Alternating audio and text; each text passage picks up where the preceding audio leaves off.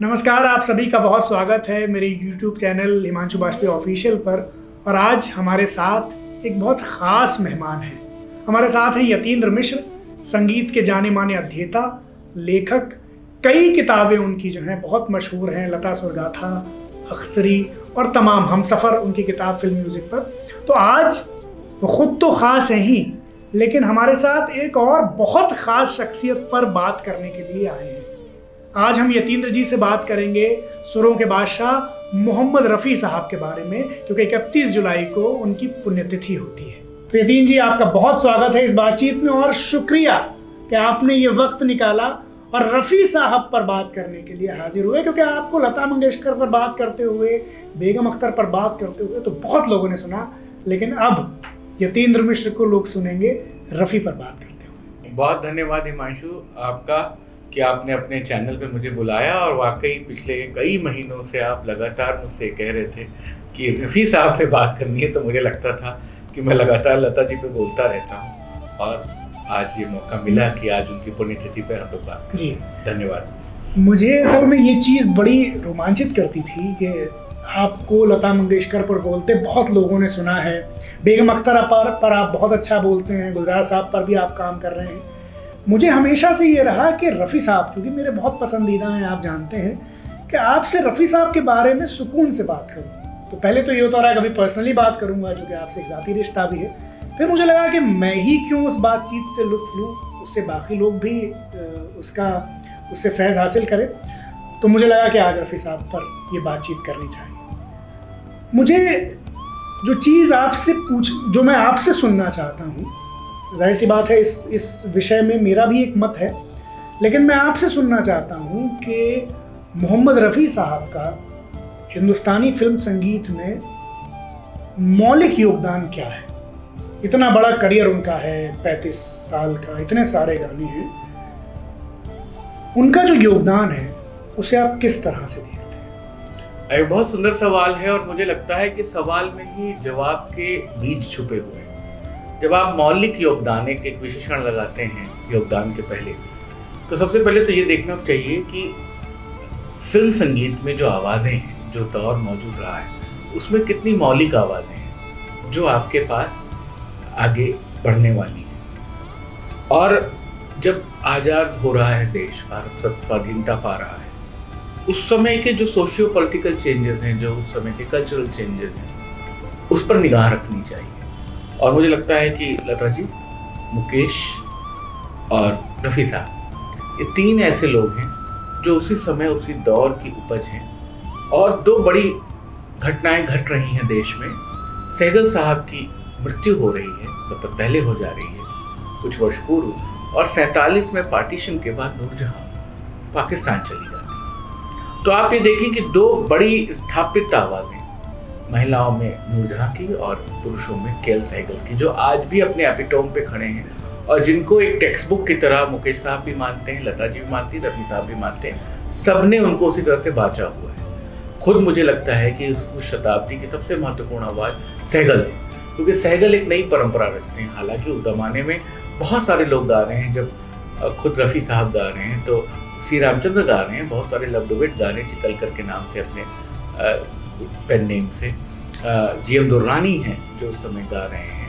बहुत सारे एक्टर्स हैं जिनकी आवाज़ें आपकी ओर सुनाई पड़ेंगी फ़िल्मों में। लेकिन रफ़ी साहब एक मौलिक आवाज़ की तरह और मुकेश जी उभरते हैं। और नौशाद का एक उनको एक वो मिलता है। वो सारे आपको वो फ़िल्म की डिस्कोग्राफी गिनाने की ज़रूरत नहीं है। मेला, बाबुल, दीदार और तमाम अंदाज जैसी फ़िल्में लेकिन जो एक सबसे बड़ी पहचान जो पहली शनाख्त है वो जो मुझे लगता है पर्सनली वो शहीद पिक्चर से बनती है।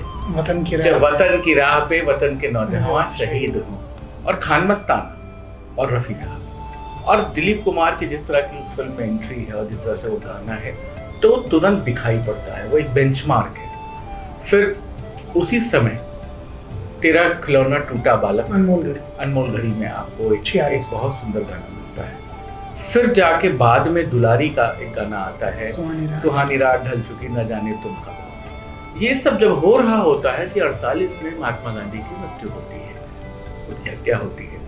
और उसी वर्ष हुसलाल भगत राम का म्यूज़िक राजेंद्र कृष्ण का रचा हुआ गीत और दो ईपी रिकॉर्ड जारी होते हैं बापू की अमर कहानी। सुनो सुनो है दुनिया वाले बापू की अमर कहानी और चार पार्ट में रफी साहब गाते हैं जिसके लिए बाद में नेहरू जी उनको रजत पदक भी देते हैं। हाँ। तो आप ये देखिए कि ये एक कल्चरल एक एक टर्मोइल का पीरियड है कि जिस समय कोई क्या कर सकता है। फयाज खान साहब रघुपति राघव राजा राम गा रहे हैं गांधी जी का क्रिमेशन का फ़ंक्शन हो रहा है मतलब वो प्रोसेस चल रहा है और वो रो रहे हैं।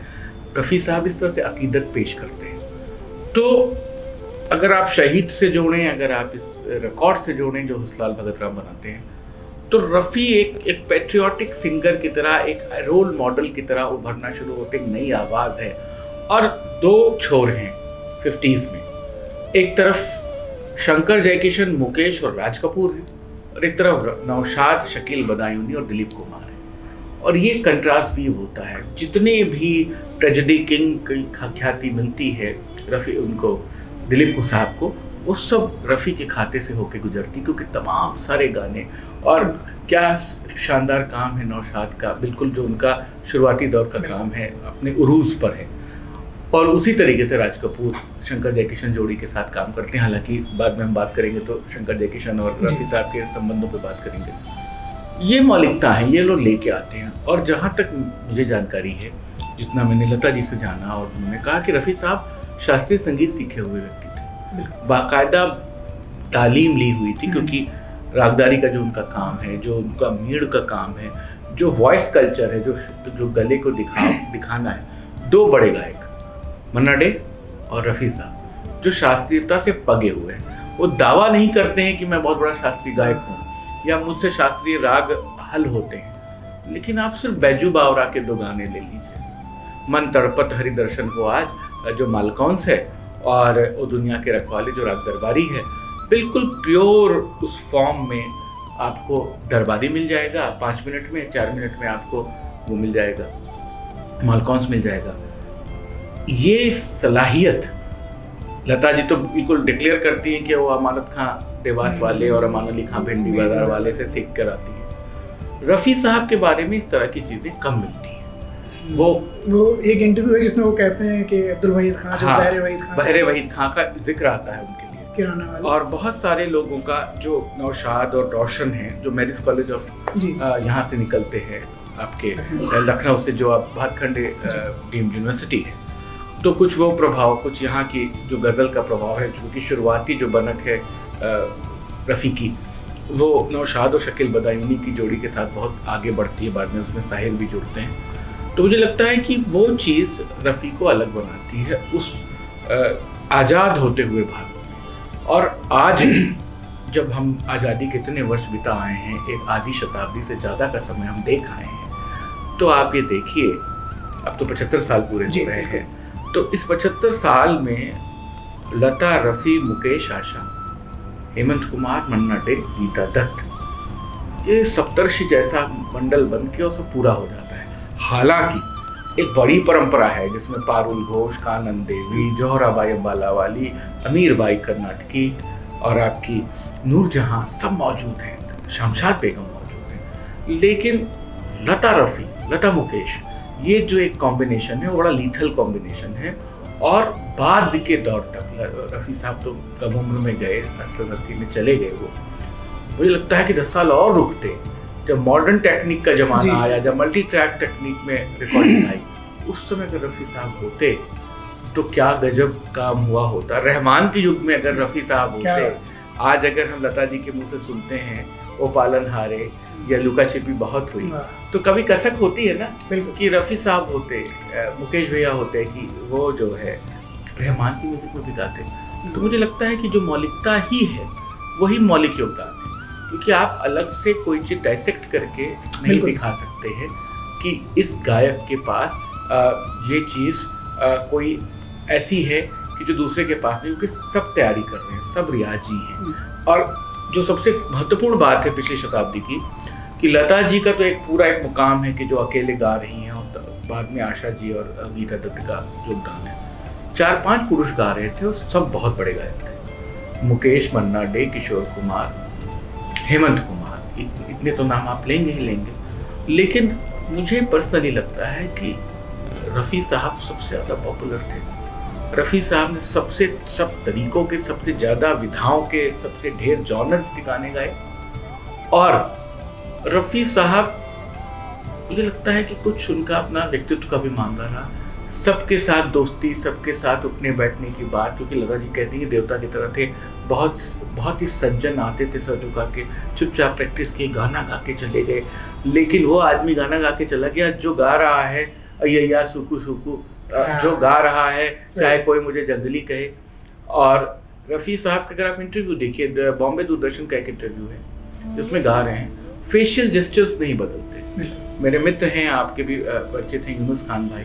उन्होंने एक दिन पॉइंट आउट किया। उन्होंने कहा कि आप देखो कि जो मुद्रा दोष होता है किसी भी तरीके के गाना उसमें तान लेना मुर्गी हम्म। लगाना या गले की आवाज़ को थोड़ा सा उसके पिच को हाई करना। रफ़ी साहब बहुत संयत बहुत हाँ। सुंदर मुखा उससे गा देते हैं पता ही नहीं लगता कि फ्लॉलेस ये आवाज़ निकल कहाँ से वो उनके बारे में नूरजहां ऐसा कहा जाता है कि नूरजहां ने उनसे कहा था कि रफ़ी चेहरा बना के मुँह टेढ़ा मेढ़ा करके मत गाना। तो वो उस चीज़ का उन्हें तो उन्होंने उसकी प्रैक्टिस की उसका एक रियाज किया। और जैसे लता जी की आवाज़ सुनिए थोड़ा सा मुँह खुलेगा और वो तार सब तक पे आवाज़ चली जाएगी। वो एक जो थ्रो है। और ये समझना चाहिए ये मुझे लगता है कि इन लोगों को वरदान है इन बड़े गायकों को। माइक्रोफोन पे आपकी आवाज़ किस तरीके से ट्रांसमिट होती है प्रक्षेपण कैसा है आवाज़ का थ्रो कैसा है? बहुतों की आवाज़ अच्छी होती है। कम ही लोग होते हैं जो कमेंटेटर बन पाते हैं जिनकी माइक पे आवाज़ बहुत गुरगंभीर हो जाती है। तो वो जो एक गले का जो एक वो दाना है रफ़ी साहब की माइक्रोफोन पे बहुत परफेक्ट मेटेलिक वॉइस निकलती है। अच्छा एक चीज़ बहुत ख़ास ये भी थी जो आप अनुभव से भी जानते होंगे कि आमतौर पर अगर कोई कागज़ से पढ़कर गा रहा है जी। या पढ़ भी रहा है तो अटेंशन प्लान तो बदलता तो अटेंशन चूँकि कागज़ पर पढ़ने में भी फोकस लगता है तो गायकी पर असर पड़ जाता है या परफॉर्मेंस पर असर पड़ जाता है लेकिन रफ़ी साहब के साथ ये एक बात हमने देखी वो कागज़ लेकर गाते हैं और उसके बावजूद उनका जो इमोशन है जो फीलिंग है, जो शिद्दत है, उस पर कोई फ़र्क नहीं पड़ता। तो ये मेरे नज़दीक बहुत एक ख़ास नहीं, उसके पीछे एक रीज़न है, जो मैं समझता हूँ।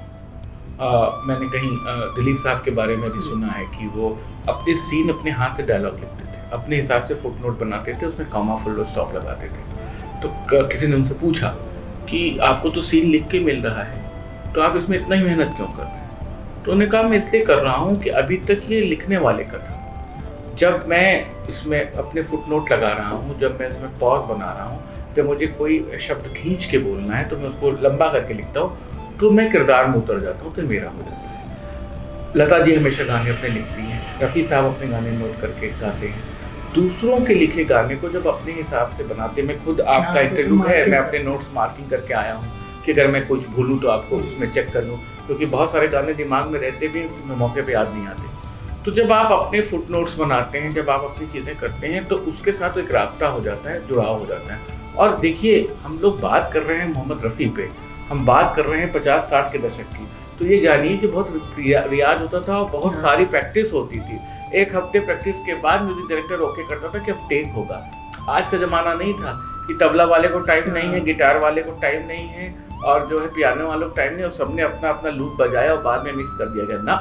पूरा ऑर्केस्ट्रेशन हो रहा है पूरी प्रैक्टिस हो रही तीन दिन तक हो रही है वो बात जब उभर के आ गई नौशाद को वो बात जब उभर के आ गई रोशन को तब रिकॉर्ड होता तो इतनी परफेक्शन इतने परफेक्ट ढंग से माजना और उसके बाद उसका थ्रो करना तो मुझे लगता है कि ये पुरानी तालीम का भी असर है और उस दौर का भी असर है।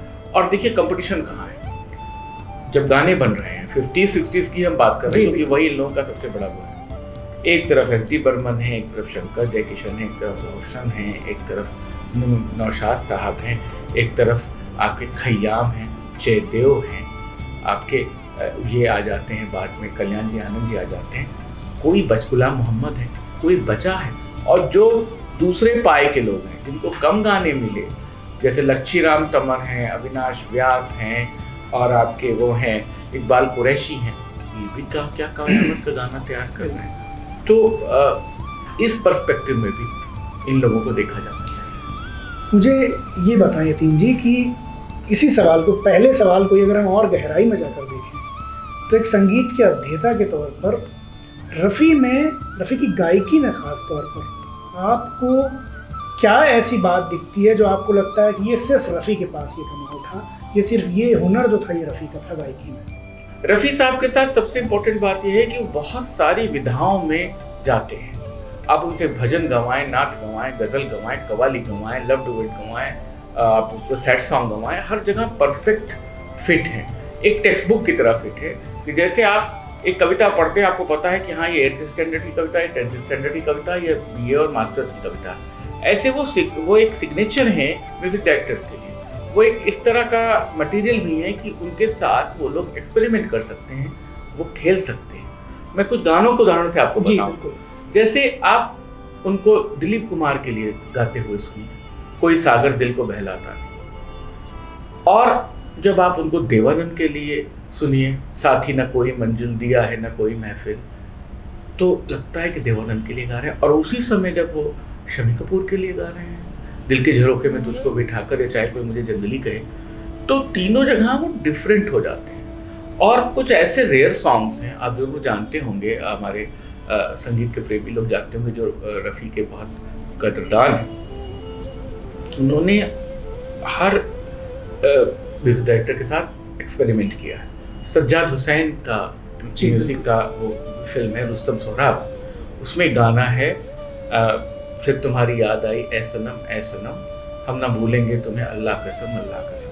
अरेबिक म्यूज़िक पे गाना बढ़ता है, साढ़े तीन मिनट का गाना है, रफ़ी साहब हैं और मन्ना डे और जो जुगलबंदी है, और जिस तरीके के लो पेस से उठता हुआ गाना है, आप आप बिल्कुल मेस्मराइज हो जाते हैं कि सज्जाद के साथ क्या खेल हो गया आप जब जयदेव के पास आते हैं, कभी खुद पे, कभी हालात पे रोना आया या मैं ज़िंदगी का साथ निभाता चला गया। तो आपको लगता है कि ये क्या कर रहे हैं? एस डी बर्मन के पास चले आइए। तो क्या से क्या हो गया बेवफा तेरे प्यार में? और आसमां पे है वो जो एक बहुत सुंदर गाना है कि अपनी तो हर आह एक तूफ़ान है। क्या करें ऊपर वाला हाँ। हैरान है पहचान। वो अब आप सोचिए कि क्या खूबसूरत काम कर रहे हैं। शंकर जयकिशन जो हैवी ऑर्केस्ट्रेशन के लिए मशहूर है। जिनके यहाँ सौ पियानो और सौ गिटार गिटार वाला ऑर्केस्ट्रा है हंड्रेड पीस ऑर्केस्ट्रेशन है जो एक बिल्कुल लेजेंडरी किस्म से म्यूज़िक बनाते थे कि उस जमाने में लोग डरते थे सबसे महँगा ऑर्केस्ट्रा आपके पास था लेकिन जब वो दिलीप मंदिर में गा रहे हैं याद ना जाए बीते। दिनों की तो वो जो एक वो है मतलब जो एक टोन है जो टोनल क्वालिटी जो मेटेलिक वॉइस है और रागदारी जो है किरवानी का वो गाना है हम्म। लेकिन आपको लगता है कि आप ठहर के सुन रहे हैं और मुझे तो खुद कुछ गाने खास करके नौशाद साहब के बनाए हुए गाने जिसमें अमर का वो जो गाना है इंसाफ, इंसाफ का मंदिर है। ये भगवान का है। मैं जब वो गाना सुनता हूँ तो भावुक हो जाती हूँ। मुझे लगता है कि रफ़ी साहब क्या कर रहे हैं? अच्छा नौशाद साहब की एक स्टाइल देखिए। इस्लाम से आते हैं। उनकी अपनी तरबियत वैसी है। एक लता मंगेशकर को वो उनके जीवन के सर्वश्रेष्ठ तीन नात देते हैं गाने के लिए। वो नात कौन सी हैं? बेकस पे कर्म कीजिए सरकार मदीना मुगल आज़म। दिल की कश्ती भंवर में आई है पालकी और मेरा बिछड़ा यार मिला दे सदका रसूल का सोनी महिवाल लता जी गा रही हैं एक महाराष्ट्रियन ब्राह्मण स्त्री परफेक्ट नोट पे नाच गा रही है नौशाद साहब के। मोहम्मद रफ़ी क्या कर रहे हैं? परफेक्ट नोट पे भजन गा रहे हैं। वो क्या गा रहे हैं? आ, मन तरपत हरिदर्शन को आज इंसाफ का मंदिर है ये भगवान का घर है। मधुबन में राधिका नाचे रे। अब आप बताओ, गरधर की मुरलिया बाजे रे। अब ये काम कौन कर सकता है? ये कोई मास्टर क्राफ्टमैन ही कर सकता है। नौशाद जैसा आदमी कर सकता है, रफ़ी साहब जैसा आदमी कर सकता है। और इबादत दिखाई देती है। मुझे जो रफ़ी साहब के गाने में मतलब मैं पूरे क्षमा और उसके साथ कहना चाहूँगा, लता जी फ्लॉलेस गाती हैं हर लता मंगेशकर के साथ किसी का डुएट उठा लीजिए। तो लगता है लता जी हो गए और वो पीछे पीछे आ रहा है। सिंगर जो उनका सह गायक जब रफ़ी साहब सामने होता है तो लगता है दोनों एक पेडेस्टल पे खड़े होकर के अपना बेस्ट दे रहे हैं। मतलब कोई किसको मतलब बिल्कुल बराबर से तलवारें चल रही हैं बराबर से पतंगे उड़ रही ये मेरा अगला सवाल ही था जो आपने इस सवाल में जोड़ दिया तो मैं उसको पूछ लेता हूँ विधिवत कि लता और रफ़ी की जो जुगलबंदी है वो अपने आप में एक चीज़ है। वो और करिश्मा आपने बहुत काम किया लता मंगेशकर में आपकी इतनी मशहूर किताब है लता सुरगाथा तो मुझे ज़रा उस जुगलबंदी के बारे में बताइए कि जैसे मुझे जो आपने बात कही कि ऐसा लगता है दो सर्वश्रेष्ठ लोग जो हैं वो एक साथ मतलब मैं हैरान परेशान हो जाता हूँ। मैं ये कोशिश करता हूँ मैं मेरी कोई हैसियत नहीं है मैं मैं कोई म्यूजिकोलॉजिस्ट हूँ मैं तो एक रसिक के तौर पे देखता हूँ उसको बार बार सुनने की कोशिश करता हूँ। तो ये लगता है कभी लता जी आगे चली गई फिर लगता है कभी रफी साहब आगे चले गए फिर रिवाइंड करके सुनते हैं फिर दोबारा से डिजिटल उस पर जाते तो लग खोपड़ी खिलने लगती है। ये लगता है कि ये कुछ अजब सा करिश्मा हो रहा है। और सबसे सबसे क्लासिक बात ये है जो मुझे लगता है कलाकार के तौर पे एक लेखक के तौर पे। जैसे आपको पता है ना कि आप जिस मैार का काम कर रहे हैं उस मैार पे और कौन लोग कर रहे हैं? या ऐसा तो नहीं कि जो हम कौड़ी लेके आ रहे हैं वो तो तीर न मार दे। ये होता है ना जो कि सज्जाद हुसैन ने कहा था डी बर्मन को कि तुमने जितना सब गाना बनाया है, वो एक गाना जो है, मेघा छाया आधी रात बैरन बन गई दिया ये मुझे दे दो, मेरे सारी कंपोजिशन दे दो। तो कभी किसी के लिए करने का मन होता है कि भैया, सारा दीवान लुटा दो, तुम ये अपनी चीज़ मुझे दे दो। ऐसे मुझे लगता है कि रफ़ी साहब और लता मंगेशकर का मामला है कि ये लगता ही नहीं है कि कौन कहाँ पे भारी पड़ रहा है। इसका सबसे अच्छा जो उदाहरण है, वो उनके टेंडम सॉन्ग्स हैं। फ़िल्मों में जो एक ही गाने को दो अलग अलग पार्श्व गायक गायिकाएँ गाते हैं। आप लव इन टोक्यो में ओ मेरे शाह खुबा ले लीजिए तो दोनों लोग गा रहे हैं। आप भीगी रात में आप ले लीजिए दिल जो ना कह सका या मेरे महबूब आप मेरे महबूब तुझे मेरे मोहब्बत की कसम ले लीजिए। आप वो ले लीजिए गर तुम भुला न दोगे। आप परदेसियों से ना आखियाँ मिलाना ले लीजिए। कहीं भी कोई कमज़ोर पड़ता ही नहीं। आप कहीं नहीं ये तो हो सकता है कि आप किसी के फ़ैन हैं तो आप ज़्यादातर लोग ये कह सकते हैं कि हमें ल- वर्जन पसंद है हमें लता वर्जन पसंद है। लेकिन अगर आप तटस्थ होकर आकलन करेंगे आप अगर दोनों के फ़ैन बन के बात करें या दोनों के फ़ैन ना बन के बात करें तो आप कह नहीं सकते कि कौन उन्नीस बीस हो गया। क्या कयामत है? और शुरुआती दौर के जो गाने हैं मन की बीन मतवारी बाजे शबाब का गाना है कुहू कुहू बोले कोयलिया स्वर्ण सुंदरी का रागमाला बेस गाना है झूले में पवन के आई बहार बैजू बावरा तू गंगा की मौज में यमुना का धारा क्या? कोहिनूर दो सितारों का जमी पर है मिलन आद की रात एक पुरानी फ़िल्म है, दुगुंडे। उसका गाना है, भीगी पल के उठा, मेरी जान गम ना कर, दिन जवानी के यूँ ही बदल जाएँगे। क्या शानदार गाया, क्या ठहराव के साथ गाया है। मारू बिहार पे वो गाना सुन लीजिए, तुम तो प्यार हो सजना। सेहरा का गाना उठा लीजिए। तलाश में आई एस डी बर्मन। पलकों के पीछे से क्या तुमने कह डाला? फिर से तो फरमाना, नैनों ने सपनों की महफिल सजाई है, तुम भी ज़रूर आना। ये सुना है गाना? क्लास गाना है। अब आप बताइए पलकों के और फिर वो है जरा खफा खफा शागिर्द में चले जाइए। तो और बाद तक आते आते मतलब बिल्कुल बाद में जब सरगम के गाने गा रहे हैं जब बाद में लता जी के साथ बिल्कुल 80 के दशक के दौर के गाने गा रहे हैं तो भी लगता है कि लता रफ़ी कहाँ क़यामत कर रहे हैं? और एक चीज़ और जो मुझे कहना चाहिए यहाँ पे। एक दौर था कि जब ये कहा जाता था कि रफ़ी साहब और किशोर कुमार में राइवलरी है और अब किशोर कुमार का दौर आ गया रफ़ी साहब धीमे हो गए। आराधना उसका सबसे बड़ा उदाहरण है। मेरे सपनों की रानी किशोर कुमार गा रहे हैं और वो गा रहे हैं। जो- गुनगुना रहे हैं। नहीं ये सबसे इम्पोर्टेंट गाना जो है कोरा कागज़ था ये मन मेरा ये किशोर और लता गा रहे हैं। लेकिन एस डी बर्मन को बिना रफ़ी साहब की मौजूदगी के पेट नहीं भरता और बागों में बहार है और गुनगुना रहे हैं, भौरे खिल रही है, कली कली गा रहे हैं। तो अगर रफ़ी साहब थोड़े भी कमज़ोर पड़े होते तो आराधना में क्यों होते? भाई किशोर कुमार थे, वो एक केमिस्ट्री बन जाती और वो काम हो जाता। और इन सबसे निकल के जाइए जब आप ओपी नैयर के यहाँ जाइए। मुझे सबसे सुंदर, सबसे लुभावने, सबसे मिस्टीक सबसे प्यार भरे गाने नैयर साहब क्या मिलते हैं उनके, रफ़ी साहब के? आंचल में सजा लेना कलियाँ जुल्फों में सितारे भर लेना फिर वही दिल लाया हूँ।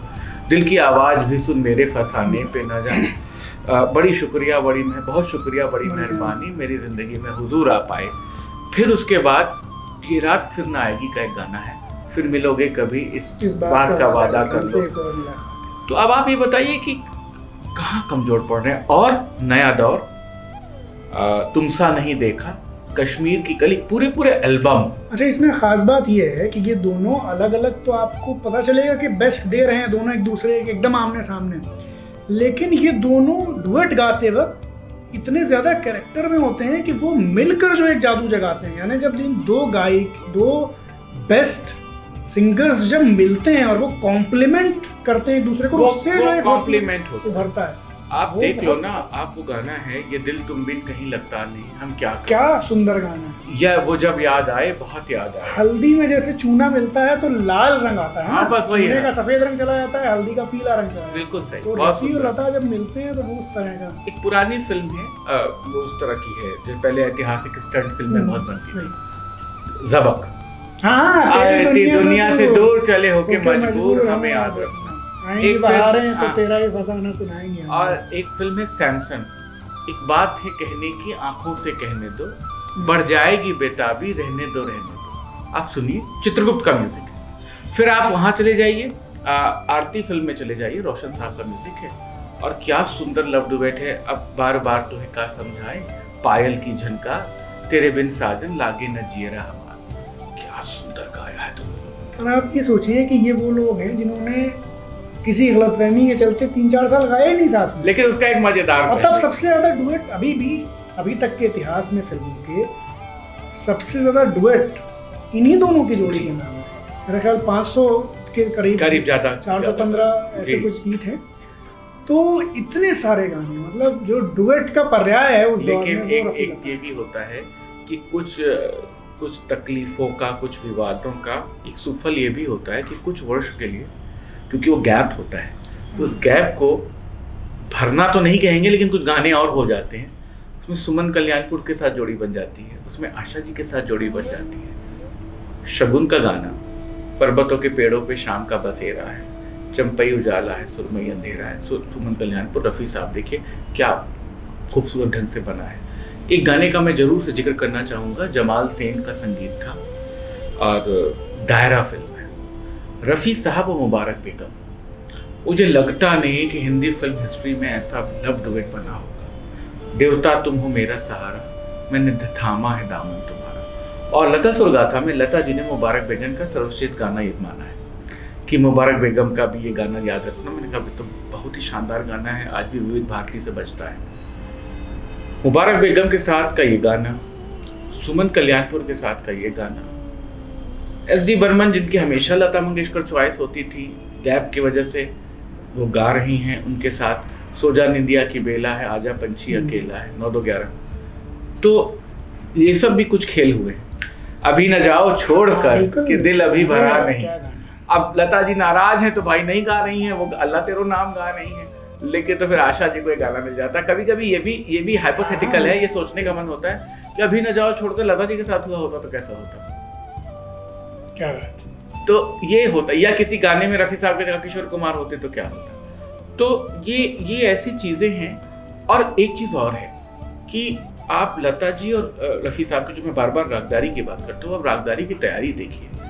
आप शुरुआती खास करके इन्हीं के दौर का गाने सुनिए जो नौशाद साहब बनाते हैं। कैसे खूबसूरती से ये लोग फ्लॉलेस ढंग से राग भर देते तो गंगा की मौज में गा रहे हैं, या उसमें गा रहे हैं मन की बीन मतवारी बाजे। और शबाब फ़िल्म में एक बहुत सुंदर गाना गा रहे हैं। अच्छा ये एक चीज़ है जैसे इसमें लता की आवाज़ हो या रफ़ी की आवाज़ हो एक जो प्रोटेगनिस्ट की हीरोइक वॉइस जो है अगर हीरो है। तो हीरो की वॉइस जैसी होनी चाहिए। या हीरोइन के केस में लता मंगेशकर की तो आप देखिए मैं उदाहरण से बताता हूँ। न तो कारवां की तलाश है ये जो गाना है बरसात की रात का। कई गायकों ने गाया मन्ना डेवी एस डी बातिस भी और फीमेल सिंगर्स में भी। लेकिन जब वो रफ़ी की आवाज़ उभरती है काफ़ी बाद में रफ़ी की एंट्री होती है ना हाँ। लेकिन जब होती है आखिरी हिस्से में वो मोहब्बत के साथ एकदम बिल्कुल इसी तरह से दूसरा एग्ज़ाम्पल देखिए लैला मजनू फ़िल्म थी अरे 76 में। बहुत सुंदर गाना है। अच्छा ये वो फ़िल्म तो इसलिए भी देखनी चाहिए सब लोगों को क्योंकि ये बातें होती थी कि सेवेंटीज़ में रफ़ी साहब थोड़ा सा डाउन हो गए किशोर हाँ। तो उस फ़िल्म में एक तो रवेल ने ये मतलब मतलब ये थी कि रवेल ने बनाई ही सोच के थी कि रफ़ी ही गाने गाएँगे सब। तो ऋषि कपूर ने उसका किस्सा भी सुनाया। तो खैर वो उसके गाने आप जब सुनेंगे तो आपको लगेगा कि जैसे रफ़ी साहब एकदम बिल्कुल अपने शिखर पर जाके गा रहे हैं और ये साबित करते हुए गा या सकता है मेरी कल्पना हो आपको लगेगा कि वो ये उन गानों में ये कि वो लगेगा कि ये मजनू का कर्ब है। और दूसरा ये साबित कर रहे हैं कि भाई देखो सिंगर है। आप देखिए उसी दौर के गानों में तो वो उसका हाँ वो गाना वो बात रह गई। उसका जो गाना है जो जो मज़ार पे दरगाह पे होता है और उसमें दो कव्वाल गा रहे हैं अज़ीज़ नाजा और शंकर शंभू गा रहे हाँ। हैं। प्रोफेशनल कवाल है उनका तो काम है कवाली गाना। लेकिन जब रफी साहब जब ऋषि कपूर जब हाँ वो जो हो के मजबूर वो जो मायूस तेरे दर से सवाल के मायूस तेरे दर से सवाल ही न गया। वो लगता है कि हीरो ने गाया। आप ये देखिए उसी दौर में मतलब वो जो बिल्कुल उनके मृत्यु के बस दो चार साल पूर्व का मामला है।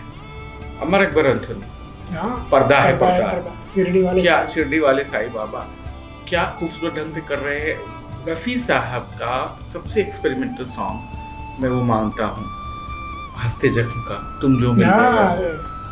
तो अब आप देखिए और मदन मोहन के ही संगीत में जो मेरा साया में गाते हैं आपके पहलू में आके रो दिए दास्तान गम सुना के रो दिए। तो ये लगता है कि वाकई ये कोई दास्ता सुना रहा है। साथ ही ना कोई मंजिल मैंने उसका ज़िक्र किया। एक गाना है कला पानी का हम बेखुदी में तुमको हाँ, पुकारे चले गए। तो अब वो अब वो कहाँ जाके खत्म हो रहा है? तुम चली जाओगी परछाइयाँ रह जाएँगी। खयाम साहब के साथ मिनिमल टोन का गाना है। क्या सुंदर म्यूज़िक है और वो सुंदर जागे दिल दीवाना आप सुन लीजिए ऊँचे लोग का चित्रगुप्त का म्यूज़िक जो खयाम साहब का और कुछ देर ठहर और कुछ देर आखिरी खत क्या क्रिस्टल क्लियर वॉइस उसमें रफी की है बिल्कुल मिनिमल म्यूज़िक पे। और लैला मजनू का वो गाना भैया याद करिए ये दावा आज दुनिया भर से मनवाने जो सांस का खेल उसमें किया और जो बीट्स पे बेस पे गाया है और सबसे इम्पोर्टेंट ये है कि वो जो बहुत मशहूर बिनाका में बजा इस रेशमी पाजेब की जनकार के सदके मुझे बहुत पसंद है। बहुत बहुत मज़ेदार जलवा था एक शोला उसने यार के सदके। तो ये एक चीज़ है और रोशन के यहाँ जब वो गा रहे हैं तो रोशन के संगीत वैसे ही बहुत शाइस्ता संगीत है बहुत मिनिमल और बहुत इम्पोर्टेंट उसके पैराफ्रेजिंग उसकी उसका सिंटेक्स ताजमहल के गाने सुन लीजिए। जो वादा किया जो बात तुझ में है। आज भी उसमें आँसू आ जाते हैं आप उसको सुनते हैं तो। तो ये सब जो एक इंपॉर्टेंट बात है एक बहुत इंपॉर्टेंट दो गाने बहुत इंपॉर्टेंट हैं इस लिहाज से। एक गाना है चलो दिलदार चलो, चाँद के पार चलो, हम हैं तैयार चलो, गुलाम मोहम्मद। पूरा डुएट है, लेकिन रफ़ी साहब से एक ही लाइन गाते हैं, चलो दिलदार चलो, चाँद के पार चलो। और उसके बाद लता जी आ जाती हैं, हम हैं तैयार चलो, और फिर आओ, हो जाए सितारों में कहीं, और पूरा गाती हैं। और फिर रफ़ी साहब आते हैं, चलो दिलदार चलो। वो सिर्फ़ एक लाइन चलो दिलदार चलो टेक की तरह आता है लेकिन ये लगता ही नहीं है भराव का काम लगता है लगता ही नहीं है कि ये सिर्फ़ लता जी का गाना है ना पूरी तरह से वो पैरेलल खड़ा है लव डुएट बन के सेम वैसे प्यार का मौसम में नी सुल्ताना रे प्यार का हाँ, मौसम आया। और बस वो नी सुल्ताना रे प्यार का मौसम आया हरी हरी छाया बस उसके बाद बलम बबुआ से जब वो लता जी वो दो लाइन भी अगर रफी साहब ने कहीं गाई है तो उनकी आवाज़ ने एकदम तवज्जो हाँ, खींच लिया है। वो बेंच मार्क है। अच्छा मुझे भैया एक चीज़ बताएँ, जो आप भी इस सवाल से दो चार होते होंगे, ये जो फैंस होते हैं फैनेटिक एकदम के रफ़ी बेस्ट हैं, किशोर बेस्ट हैं, लता बेस्ट हैं, आशा बेस्ट हैं, ये पूरी बहस जो है बेस्ट होने की। ख़ास तौर पे अब जैसे जैसे डिजिटली चीज़ें हो रही हैं और कमेंट्स देने की सुविधा है तो बहुत लड़ाई मची रहती है कि ख़ास तौर पर रफ़ी और किशोर के फैंस में, जबकि अगर हम पढ़ें दोनों के बारे में या दोनों को लोग जो जो जानते थे उनसे बात करें दोनों के घर वालों से बात करें तो आपको ये समझना आएगा ये बेकार की बात है। क्योंकि दोनों के संबंध ज़ाती ताल्लुकात बड़े ठीक ठाक थे और बड़ा अच्छा एक आत्मीय संबंध भी था। बहुत अच्छे किस्से भी हैं उससे जुड़े हुए। तो आप इसको कैसे देखते हैं? जो पूरा एक ये अच्छा सवाल एक, है। एक कांचे में खड़े हो जाने नहीं एक अच्छा सवाल है। इस इस संदर्भ में इसका थोड़ा सा एलेबोरेटेड आंसर है।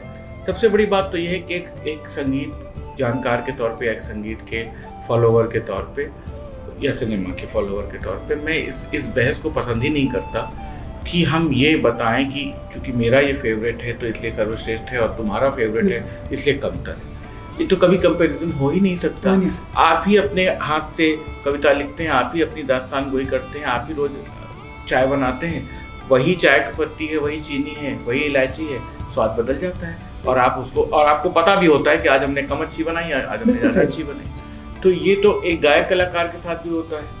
और रफ़ी साहब के भी कुछ ऐसे पॉइंट्स हैं कि जहाँ पे मैं उनसे मुतासर नहीं होता हूँ।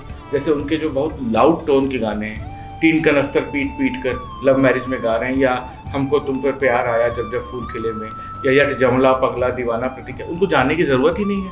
लेकिन चूँकि वो पॉपुलर जॉनर है सिनेमा में गा रहे हैं उसका कॉन्ट्रैक्ट साइन किए हैं फ़िल्म के करेक्टर की डिमांड है तो उनको गाना भी है वो। लेकिन रफ़ी साहब इसके लिए नहीं याद रखे जाएँगे। रफ़ी साहब, एहसान तेरा होगा, मुझ पर के लिए याद रखे जाएँगे। तू हिंदू बनेगा ना मुसलमान बनेगा, इंसान की औलाद इंसान बनेगा, इसके लिए याद रखे जाएँगे।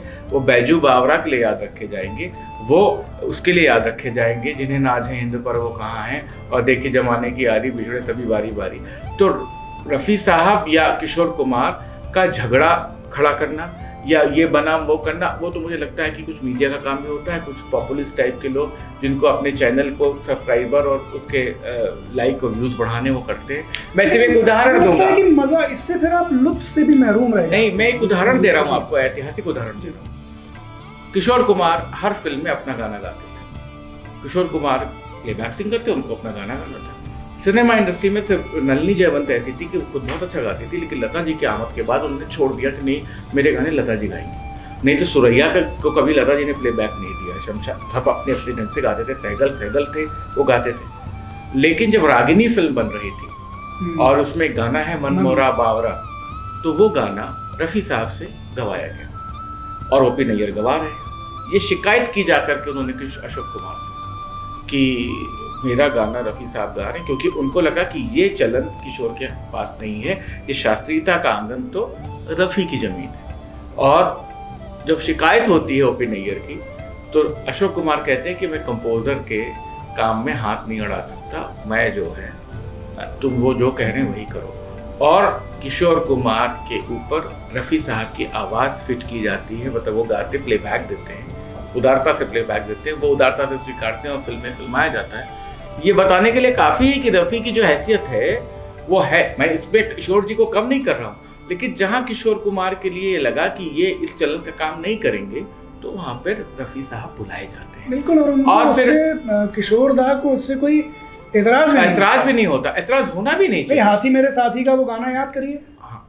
नफरत की दुनिया को छोड़ के बिल्कुल सही। प्यार की दुनिया में खुश रहना। तो आप ये बताओ आप ये बताओ कि ये रफ़ी साहब की को इस्टेब्लिश करने के लिए काफ़ी है। आगे बढ़िए। कर्ज फ़िल्म है। पूरा दौर चल रहा है किशोर कुमार का। लक्ष्मी प्यारे भी पूरे किशोर में हो चुके हैं।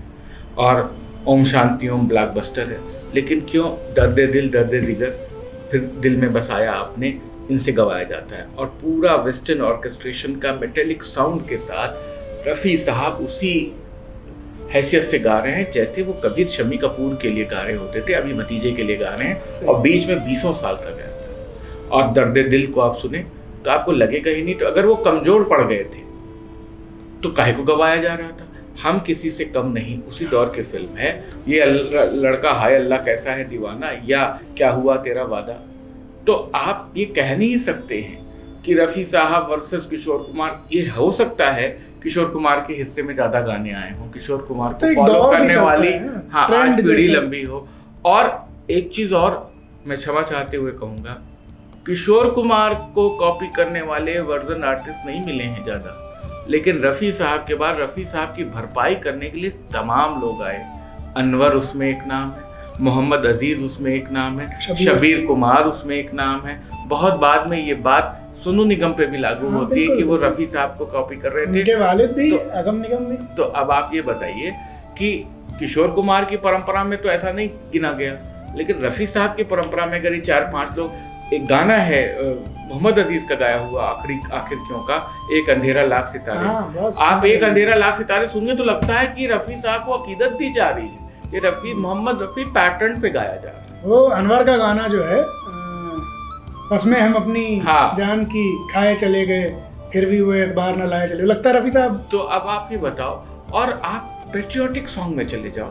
आ, अब कोई गुलशन ना उजड़े अब वतन आज़ाद है। आप मुझे जिन्नतों में सुनो आप का वो सुनो आ, ये वाला गाना जो भी मैंने इसका ज़िक्र किया था। आ, इंसाफ का मंदिर है भगवान का डर है घर घर है। इस तरह के जो गाने मोहम्मद रफ़ी गा रहे हैं अपने दौर में गा रहे हैं तो वो बहुत बहुत जिसे कहते हैं ना कि वो रोमांच पैदा करता है। नौनिहाल का गाना जो नेहरू जी के डेथ पे बना है मेरी आवाज़ सुनो प्यार का राज सुनो। अब अब ये सब फिलोसफी है एक विचार है। अगर आप मोहम्मद रफ़ी को उस तरीके से देखना और हमें लगता है जो आइडिया ऑफ़ इंडिया जो था हाँ, नेहरूवियन सोसाइटी जिस तरह से उस समय बना नया नया देश बना उसमें जो उसकी कदरें थी एक नए नए लोकतांत्रिक देश की उसमें उस आइडिया को रफ़ी की गायकी ने उनकी शख्सियत ने बहुत मज़बूत किया। अच्छा एक चीज़ यतीन जी मुझे ये बताएँ कि जैसे हमने अभी बात की कि आइडिया ऑफ़ इंडिया को किस तरह से रफ़ी मज़बूत करते थे उस विचार को। एक चीज़ रफ़ी के बारे में जो बहुत रेयर है वो ये है कि इतनी बड़ी फ़िल्म इंडस्ट्री में इतने साल उन्होंने काम किया लेकिन कोई एक इंसान भी जल्दी जल्दी ऐसा नहीं मिलता जो उनकी बुराई करे कहे वो ख़राब इंसान थे। हर इंसान ये कहता है कि फरिश्ता सिफत आदमी थे और इतने किस्से उनके मिलते हैं कि मुफ़्त में गाना गा दिया किसी के लिए कोई काम कर दिया परोपकारी खुश अखलाक जिस तरह के शख्स थे वो। तो मुझे ये बताइए रफ़ी जितने बड़े जि, जितने बड़े सिंगर रफ़ी बने या जो लेजेंडरी उनकी एक शख्सियत है कि अफसानवी शख्सियत उसमें क्या उनकी उनका जो खलूस था उनकी जो निश्चलता थी इसका भी योगदान है, आपको लगता है रफ़ी, अगर ये तो एक बोनस चीज़ है, अगर रफ़ी की सिर्फ़ गायकी और सिर्फ़ उनकी जो परफॉर्मेंस है आर्ट है, उस पर ही बात कर ली जाए तो रफ़ी को वो एक लेजेंडरी सिंगर बनाने के लिए काफ़ी है। ये बहुत अच्छा सवाल है, लेकिन दिक्कत इस सवाल के साथ ये है कि जैसे मैं अपनी तरफ़ से जवाब दूँ तो क्योंकि मैं इसके विरोध में भी बोलता रहता हूँ कि जो चीज़ें आपको पता नहीं है, जो चीज़ आप सुनी सुनाई बातों पे आप नहीं कह सकते। हम लोग का ये सौभाग्य नहीं रहा कि हम लोग नफी साहब को देख पाते, मिल पाते। जो बातें हम, जो धारणा बनाते हैं, वो जो अब तक लिखा पढ़ा गया है, जो कुछ इंटरव्यूज़ मिलते हैं या लोग बोलते हैं। तो एक अच्छे इंसान थे, इसमें कोई दो राय नहीं, क्योंकि उनकी बायोग्राफी से स्पष्ट होता है। और लता जी से जैसे मैंने बात की तो उन्हें लता साहब की बहुत भूरी भूरी तक प्रशंसा की है। जबकि उनके साथ रॉयल्टी का विवाद हो चुका है, जबकि उनके साथ वो चार पाँच साल गा नहीं रही है। लेकिन एक बहुत भले सज्जन इंसान के तौर पे उनको याद करती तो उससे एक इम्प्रेशन गैदर होता है कि वो बहुत भले और अच्छे इंसान रहे ये सही बात है कि ये एक हाइपोथेटिकल बात हो सकती है या एक तरीके का एक ये थेरी बनाई जा सकती है कि जो बहुत अच्छा दिल और जहनीत से बड़ा इंसान है जो बहुत शानदार है उसकी कला भी बहुत शानदार होती है या होनी चाहिए। लेकिन हम ये दावे से नहीं कह सकते कि जो लोग बहुत बड़े कलाकार हैं कहीं और किसी फ़ील्ड में हैं उनकी शख्सियत उसके पर्दे के पीछे क्या रही? रफ़ी साहब के बारे में ये कहानियाँ बहुत प्रसिद्ध हैं कि उन्होंने बहुत साधारण संगीत निर्देशकों के साथ भी गाया और उनके लिए जो है पैसे नहीं लिए। तमाम सारे ऐसे उनके गाने हैं जो आप अगर याद करें तो ये लगता है कि ये क्या मतलब एक नया काम कर दिया और पैसे नहीं लेकर के आए बात तक ऐसा बहुत सारे उदाहरण मिलते हैं। तो ये तो सही है कि वो एक अच्छे अच्छी शख्सियत के मालिक थे कोई उनमें किसी भी तरीके का वो नहीं था। जिसे कहते हैं वाइसेस जो दिखाई पड़ता हो। नौशाद साहब का एक मशहूर किस्सा है कि एक बार तलक महमूद को सिगरेट पीते हुए देख लिया तो नाराज़ होकर के वो उन्होंने रफ़ी साहब को गाने को गया। उनको पान इलायची का तक का शौक नहीं था। लेकिन एक एक कलाकार के तौर मुझे लगता है कि बहुत वो प्योर हार्टेड रहे होंगे सर सुर के लिए बिस्मिल्ला खान साहब भी वही कहते हैं लता जी भी वही कहती हैं, रफ़ी साहब का भी वही कहना है कि एक सच्चे, सच्चा सुर जो है बड़े इबादत वाली चीज़ है, बड़े मुश्किल से मिलता है, उसको पकड़ना पड़ता है और उसके लिए अपने को तो रोहित करना पड़ता है। तो जो एक तरीके का, जो एक उदात का वर्ण है, जो एक सबलाइन क्रिएट करने का मामला है, वो तो आपको एक बहुत जहनीत से बड़ा बनने पर होगा। और ये लोग जिस दौर की उपज है और जिस दौर में कर रहे हैं, जिस दौर में गाने गा रहे हैं आप रफ़ी साहब की एक कैफियत सुनिए कि वो कह रहे हैं ख़याम से जा कर के कि फिल्मी गाने गा गा के तो तसल्ली नहीं होती मुझसे कुछ अच्छे गाने गवा लीजिए हम्म, खयाम साहब को जब वो बोलते हैं तो कहते हैं आप मुझे अपने को सौंप दीजिए हाँ। फिर हम बात करेंगे। खयाम को वो सौंपते हैं हाँ, और उसके उनसे उम्र में छोटे हाँ और उसके बाद जा करके फिर वो गाना बनता है पाँव पड़ो तो तोरे शाम। खयाम साहब का म्यूज़िक में नॉन फ़िल्म एल्बम है आप सुन लीजिए तभी खुश हो जाए वो एल्बम भी एक ऐसा एल्बम आया था कि उसमें एक तरफ़ गजलें थी एक तरफ़ भजन थे, भजन थे। हाँ। और फिर गालिब की गज़ल गा रहे तो ये एक सच्चे कलाकार की जहनीत का मामला है ना। जैसे लता जी को पंडित नरेश शर्मा और गोनी दांडेकर ने टोका था कि आप क्या फिल्मी फिल्मी कर रही हो तब उन्होंने भगवत गीता गाई और गालिब गाया और मीराबाई गाया। और वो आज धरोहर है।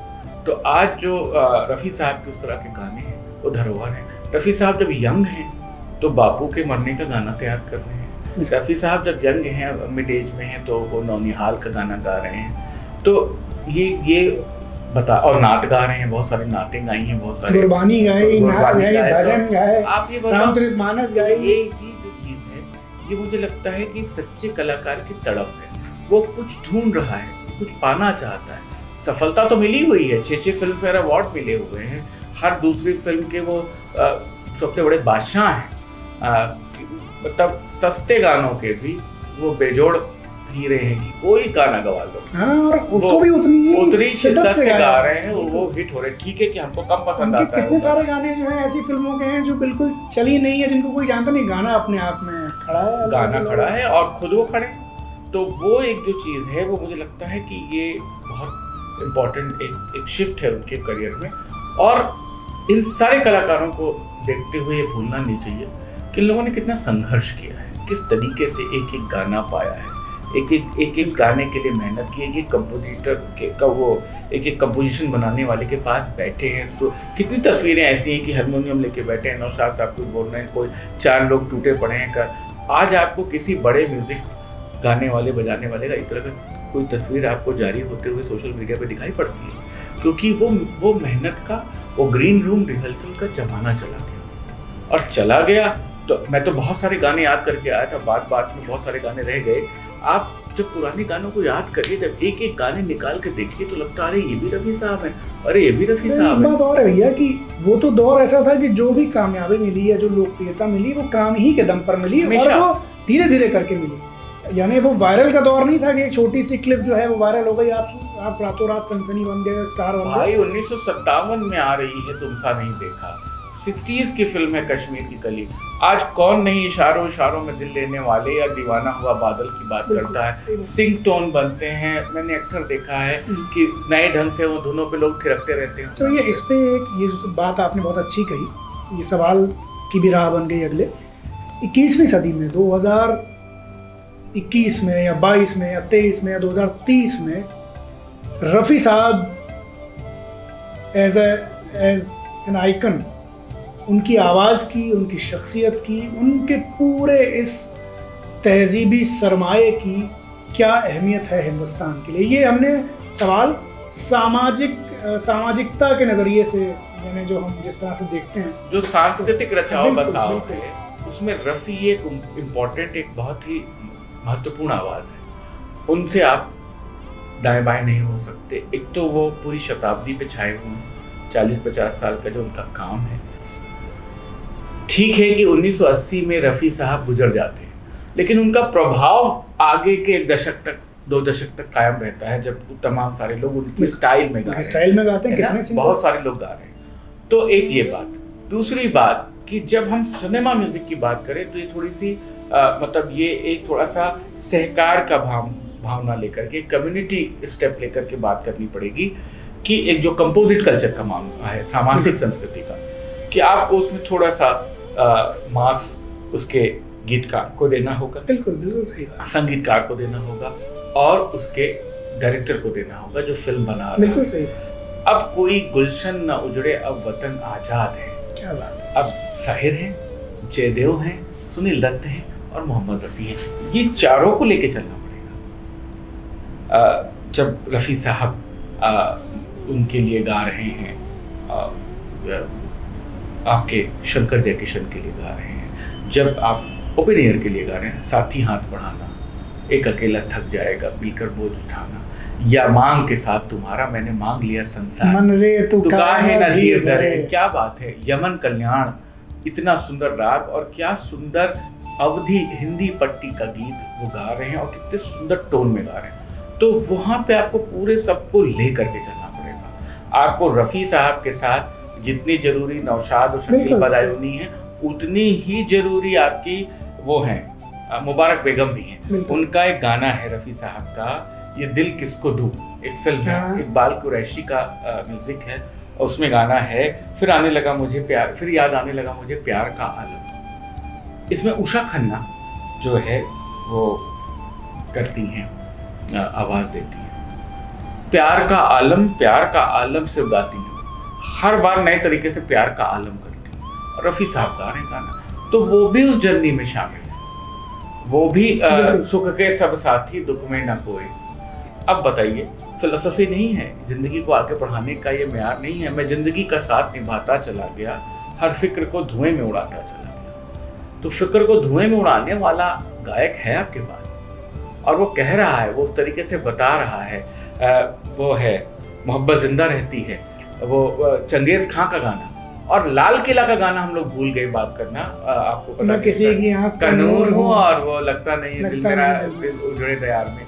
अब बताइए वो बहादुर शाह ज़फ़र को भी लेकर के आ रहे हैं। तो ये जो एक चीज़ है ये पूरा पैनोरामा जो है ये पूरा एक जो एक पूरा रंगपटल खड़ा हो रहा है। उसमें रफ़ी एक बहुत इम्पोर्टेंट इंसान के तौर पर गायक के तौर पर और एक सांस्कृतिक उसके प्रतीक के तौर पर मौजूद और उनके इर्द गिर्द बहुत के हर जज्बे को हाँ। हर कैफियत को उनका गीत कोई ना कोई नहीं ये तो सब पे आता है। ये तो ये तो ये तो ये तो आप किशोर कुमार के लिए भी कहेंगे और आशा जी के लिए कहेंगे ये तो नहीं कह सकते कि सिर्फ़ रफी के हाँ, पास रफी के पास ज़्यादा संख्या में ये कह सकते नहीं नहीं बात बिल्कुल सही है। लेकिन ये है कि मतलब वो हर चीज़ को कर रहे हैं और भजन गा रहे हैं नात गा रहे हैं कवाली गा रहे हैं उसको हमें रिपीट करने की ज़रूरत नहीं है। या वो सबके साथ गा रहे हैं। वो दिलीप कुमार बन के गा रहे हैं वो शमी कपूर बन के गा रहे हैं वो ऋषि कपूर बन के गा रहे हैं। वो कहीं एक नाजुक हाँ, हाँ शंकर हुसैन का शंकर हुसैन का जो। गाना है कमल जीत के लिए बताइए क्या हम्म। सुंदर गाना गा रहे हैं। या वो उसके लिए गा रहे हैं एक हँसी शाम को दिल मेरा धर्मेंद्र और जो है वो दुल्हन एक रात की जैसी फ़िल्म है। तो नाजुकी का कोई कोई मुकाबला ही नहीं। और फिर एक तरफ़ वो खाटी वो वाला मामला है नैन लड़ है तो मनवा माँ कसक कोई पे करी प्रेम का छुट्टी है पटाखा तो दब। आप बताइए क्या क्या बढ़िया आवाज़ निकाली है क्या खूबसूरत ढंग से और उसमें पूरा कहरवा और सब चीज़ें कर रहे हैं। तो ये बड़ा बड़ा जीनियस कलाकार ऐसा सोच सकता है। और अपने समय से आगे देखने वाला कलाकार कर सकता है। हर आदमी के बस की बात नहीं लोग वर्जन करते रह जाते हैं तो कॉपी आज भी देखिए तमाम सारे टैलेंट हंट कंपटीशन में। लता मुकेश रफ़ी यही लोग गाए जाते हैं यही किशोर कुमार यही दोहराए जाते हैं। कोई नया गाना आप... उनके बाद में जो बड़े सिंगर्स आए उनके बाद में वो सब भी तो इन्हीं की छाया में थे ना। उदित नारायण रफी स्कूल हाँ, Kumar Sanu Kishore school Abhijeet Kishore school Sonu Nigam Rafi school तो बिल्कुल तो ये बहुत इम्पोर्टेंट ये मुझे आखिरी सवाल है ये मेरा। और मैं चाहता हूँ इस पर आप थोड़ा ठहर कर जवाब दें। रफ़ी साहब को उन्नीस सौ सड़सठ में पद्मश्री मिला। उसके बाद एक बहुत बड़ा अरसा भी दिया, अस्सी में रफ़ी साहब की डेथ हो गई। रफ़ी साहब ने जो कंट्रीब्यूशन क्योंकि उनका कंट्रीब्यूशन तो शुरू होता है 1944 से और 80 तक रहा। पूरी फ़िल्म की जर्नी के साथ साथ रहे वो। जो उनका सांस्कृतिक महत्व है वो आपने बताया ही। गायक के बतौर कितने बड़े हैं हम सब जानते हैं। एक मांग बहुत दिनों से रफ़ी साहब के चाहने वाले या जो लोग नहीं भी रफ़ी साहब को एक एक सिंगर के बतौर जो ना भी फॉलो करें लेकिन उनकी अहमियत से जो वाकिफ़ हैं वो ये कहते हैं कि रफ़ी साहब को भारत रत्न मिलना चाहिए। लेकिन अब उन्नीस सौ सड़सठ से पद्मश्री से लेकर 2021 में हम आ गए। भारत रत्न नहीं मिला। तो आप, एक तो हमें ये बताएँ कि इस मांग को आप किस तरह से देखते हैं? दूसरा, भारत रत्न जैसा अवार्ड क्या ये जो बहुत बड़ी हस्तियाँ हैं, जिनको इतना मान, सम्मान, प्यार और पॉपुलैरिटी मिली क्या भारत रत्न जैसा अवार्ड अगर उनको नहीं मिलता है तो ये किसी किसी चीज़ की आपको कमी लगती है? कैसे आप इसको देखते मतलब मैं इस भारी सवाल का जवाब देने के लिए बहुत हल्का आदमी हूँ। पहली बात तो ये है कि क्षमा चाहती हूँ। लेकिन जो मुझे समझ में आता है जो आपके सवाल का जो एक पूरी पैराफ्रेजिंग है उसमें मैं एक चीज़ ये कहना चाहूँगा। कम से कम एक उसके तौर पर फ़ैन के तौर पर रफ़ी साहब के फ़ैन के तौर पर कोई पुरस्कार दुनिया का आ, किसी की कला को पूरी तरीके से उसके योगदान को समझने या उसको परिभाषित करने के लिए मुकम्मल नहीं होता। क्योंकि कला का जो स्वप्न है जो विराट को रचने का स्वप्न है वो पुरस्कारों के मिलने से नहीं तय होता। ये अलग बात है कि भारत रत्न होना बहुत बड़ी बात है क्योंकि वो सरकार देश का द्वारा दिया वाला सर्वोच्च। पुरस्कार है। अगर देश के मैक्सिमम नागरिकों द्वारा ज़्यादातर नागरिकों द्वारा ये आवाज़ उठ रही है कि भारत रत्न दिया जाए। तो आप ये समझिए कि वो दिलों में तो भारत रत्न की तरह सुशोभित है। आ, ये कही नहीं सकते और ये ज़रूर है कि जिस दिन रफ़ी साहब को भारत रत्न मिलेगा या मिले आ, तो ये बहुत खुशी का दिन होगा और तमाम सारे लोग खुशियाँ मनाएँगे दिवाली मनाएँगे। लेकिन मैं एक बात ये कहता हूँ मान लीजिए रफ़ी साहब और रफ़ी साहब की तरह के जितने बड़े कलाकार हैं वो रह गए हैं या उन उनको उनके समय में नहीं मिला या उनके लिए उस तरीके से बात आगे नहीं बढ़ी। तो मुझे लगता है कि वो ऐसी कोई ऐसी गड़बड़ नहीं हुई है कि जिसकी वजह से उनकी कला को हम उस अवार्ड से जोड़ के देखें। हो सकता है भविष्य में उनको मिल जाए। हाँ। उनकी उनकी जन्म शताब्दी के तौर उनकी जन्म शताब्दी बीती है या मुझे लगता है अभी होनी होगी आगे। 1924 में पैदा हुए थे रफी साहब तो अभी 2024 2024 आ रही है तो हो सकता है कि उनकी जन्म शताब्दी पे सरकार ये निर्णय ले और उनको नवाजे। शकील बदायूनी का एक शेर है। हाँ। अब तो आँखों में हमें हस्ती के पर्दे पड़ गए। अब कोई हुस्न मुजस्म बेनकाब आया तो क्या? तो आपको ये नहीं लगता कि टाइमिंग का थोड़ा नहीं, मुझे लगता है कि जैसे सन अस्सी में उनकी डेथ सड़सठ में उनको अवार्ड मिला। आप किसी भी बड़े कलाकार जिन लोगों को, जैसे आप बिस्मिल्लाह खान साहब हैं, रविशंकर जी हैं जिनको सारे अवार्ड मिले, लता जी हैं। तो दो पद्म अवार्ड के बीच में भी लंबा लंबा गैप रहा। हो सकता है अस्सी बयासी तक उनको पद्म भूषण पद्म विभूषण मिल जाता। अभी तक होते तो पद्म विभूषण तक तो जाते ही जाते भारत रत्न का मैं नहीं जानता लेकिन भारत रत्न भी मिलता। रहे ही नहीं। आप सोचिए बेगम अख्तर साहिबा की डेथ हो गई है उसके बाद उनको मरणोपरांत उनके शिष्यों ने जब अपील की है तो उनको पद्मश्री मिला। तो पद्मश्री पद्म भूषण जैसा दिया गया। कि टाइमिंग का एक महत्व है। अब किसी चीज़ में ऑलरेडी ताखीर हो गई है तो हमें लगता है कि ये तो एक उम्मीद अच्छी बात है। हमें हमें यकीन है कि रफ़ी साहब को एक न भारत मिल जाएगा। आप भी ये जानते होंगे कि जो उनका मरतबा है। जैसे आपने कहा कि जिस तरह से वो लोगों के दिलों में है। लेकिन कम से कम मैं ऐसा मानता हूँ कि अब मिल जाना चाहिए। बिल्कुल मिलना चाहिए और अगर आपके चैनल से कुछ लोग सुन रहे हो तो हम ज़रूर ये चाहेंगे कि रफ़ी साहब को और उनकी जन्म शताब्दी आने से पहले ही भारत रत्न जैसे पुरस्कार से नवाजा जाए। इसलिए भी कि भारत की सामाजिक संस्कृति के एक बहुत बड़े प्रतीक हैं वो वो व्यक्ति हैं जो तो हिंदू बनेगा ना मुसलमान बनेगा इंसान की औलाद है इंसान बनेगा नफरत जो। सिखाए हाँ। वो धर्म तेरा नहीं, नहीं है है। इंसान को जो रौंदे वो कदम तेरा तेरा नहीं है। वो कहने वाले व्यक्ति हैं वतन पे जो फिदा होगा अमर वो नौजवान होगा वो कहने वाले हैं इंसाफ का मंदिर है ये भगवान का घर है वो कहने वाले हैं सुख के सब सुख के सब साथी दुख में ना कोई। वो फिलोसफी गढ़ रहे हैं वो भारत को एकता के सूत्र में बाँध रहे हैं अपनी आवाज़ के से सबको एक बना रहे हैं और अपने जीवन से कोई ऐसा प्रदर्शन नहीं कर रहे हैं जैसे उनके व्यक्तित्व को कमतर आका जाए। तो मुझे लगता है कि और ये सबसे बड़ी बात है कि आज उनके गुजर जाने के 40 साल बाद आज उनके फैंस उनके प्रशंसक उनको प्रेम करने वाले उनके संगीत के प्रति बिछ जाने वाले अगर ऐसी भावनाओं से प्रेरित है तो रफ़ी साहब को ज़रूर जन्नत में खुशी मिल रही होगी। उनको लगता होगा कि चलो मैंने जो जो उनका गाना है बाहरों फूल बरसाओ मेरा महबूब आया है। तो जो वो फूल बरसा के गए हैं हम लोगों पे जो प्यार का फूल बरसाया है वो मुझे लगता है कि बहुत उनको अच्छा लग रहा होगा। और मुझे बहुत अच्छा आज इसलिए लगा कि मैं जब लता जी पे बात करता हूँ स्टडी करता रहा तो मुझे याद नहीं कि मैं कितना रफ़ी साहब को सुनता रहा हूँ और कितने सारे गाने मैं इतने सारे गाने सोच के आया था तो मुझे हँसी आ रही थी कि उस बात में कितने गाने आएँगे कितने छूट जाएँगे।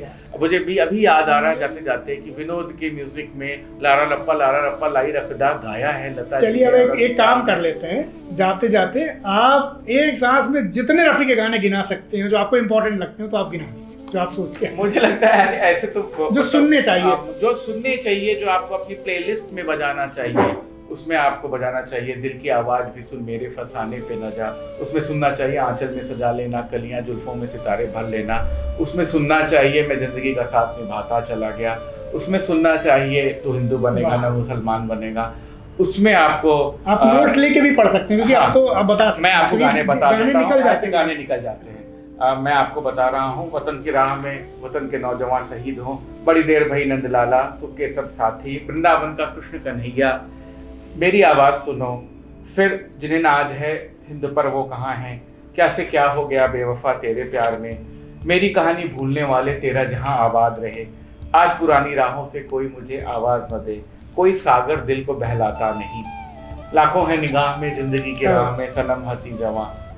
फिर अगर तुम भुला न दोगे सपने ये सच्ची होंगे। और बहुत ही सुंदर गाना है लेके पहला पहला प्यार। भर के आँखों में कुमार जिसमें आपके साथ आशा जी और शमशाद बेगम भी मौजूद हैं। इन गानों को सुनिए।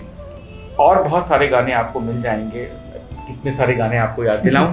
एक कुछ ऐसे गाने मैंने नोट कर रखे थे जो बहुत ही सॉफ्ट टोन के गाने हैं जिसमें तारंगी तबला ये सब बहुत हल्के ढंग से इस्तेमाल हुआ है। तुम चली जाओगी परछाइयाँ रह जाएँगी कुछ ना कुछ उसकी रानाइयाँ रह जाएँगी। शगुन का शबनम का मैंने रखा है मोहब्बत अपने अफसाने का नाम ये ज़रूर सुनना चाहिए। एक हँसी शाम को अभी हमने याद किया आपके हँसी रुख पे आज नया नूर है मेरा दिल मचल गया।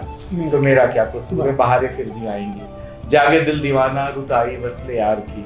पास बैठो तबीयत बहल हाँ, जाएगी मौत भी आ गई तो टल जाएगी। पुनर्मिलन सी अर्जुन का म्यूज़िक आप देखिए क्या सुंदर ढंग से गा रहे हैं। जाने क्या ढूंढती रहती हैं आँखें हाँ, मुझमें? हाँ, राख के ढेर में शोला है न चिंगारी। क्या बात। तो मुझे लगता है कि ये सब रफी साहब है और बहुत बाद तक आते आते आप डफली वाले डफली बजा सुनिए ये गोटेदार लहंगा सुनिए सब सुनिए। और उनका वो सब भी सुनिए जो बहुत शमी कपूर मार का गाना है इस रंग बदलती दुनिया में। ईमान की कीमत कुछ नहीं निकला ना करो तो सच सच कर। तो ये सब सुनिए। सुमन कल्याणपुर के साथ के उनकी डिबेट सुनिए दिल एक मंदिर है। फिर वो सुनिए आजकल तेरे मेरे प्यार के चर्चे। फिर वो तुमने पुकारा और हम चले आए। तो अब रफी तो रफी पुराण है जैसे लता सुर गाथा है तो इसका रफी पुराण है पूरा। इसका दूसरा पार्ट भी हम करेंगे बहुत जल्दी। और यतीन जी आपका बहुत शुक्रिया। दिल से शुक्रिया कि आप यहाँ आए। और देखिए मैं मुझे ख़ास बात क्या लगी यतीन जी के साथ जो हमेशा लगती है। कि इन्होंने इतना पढ़ा है, इतनी किताबें इनकी हैं जो बहुत चर्चित रही हैं। लेकिन उसके बावजूद जब हमने इनसे कहा कि हम चाहते हैं आप रफ़ी पर बात करें तो उन्होंने बाकायदा चार पाँच दिन तक तैयारी की, नोट्स बनाए, पढ़ाई लिखाई की और तब आकर यहाँ बैठे अपने पूरे, जिसको हम कहते हैं पोथी पत्रे के साथ। तो उतनी संजीदगी से यतीन्द्र जी ने इस काम को लिया और हमारे चैनल पर आए। बहुत शुक्रिया आपका और हम उम्मीद करते हैं कि अलग अलग सेगमेंट्स के लिए हम आपको बुलाते रहेंगे और आपका प्यार हमें मिलता रहेगा। और बहुत बहुत धन्यवाद हिमांशु आपका काम हमेशा से बहुत सुंदर लगता है। खूब मेहनत से करते हैं खूब दिल लगा के करते हैं इसीलिए आपके इतने आपके इतने सब्सक्राइबर्स हैं इतने लाइक करने वाले हैं। मैं आपके इस चैनल से और आज मोहम्मद रफ़ी की पुण्यतिथि पर यही अपील करूँगा कि उनको ज़्यादा से ज़्यादा सुने उनके गीतों से जुड़ें और पुराने मौलिक गानों को उनके ओरिजिनल फॉर्म में सुने ना कि उनके वर्जन सॉन्ग सुने और नए लोगों को जो बच्चे नहीं जानते उनको उनके बारे में बताएँ। मोहम्मद रफ़ी के बारे में बताएँगे लता मंगेशकर के बारे में बताएँगे तो थोड़ा पीछे जाके फिर वो के एल सहगल को भी सुनना पसंद करेंगे नूरजहाँ को भी जानना चाहेंगे और तमाम उस परंपरा को जानना चाहेंगे जब भारत का निर्माण हो रहा था जब भारत में नवजागरण हो रहा था और जहाँ पर जब भारत की एक कल्चरल मैपिंग हो रही थी एक वो परिदृश्य बन रहा था जिसको आज सौ साल बाद पचहत्तर साल बाद हम लोग बहुत प्यार से बहुत शिद्दत से बहुत खुलूस से याद करते हैं। बहुत धन्यवाद। बहुत शुक्रिया आप सबका। बहुत शुक्रिया।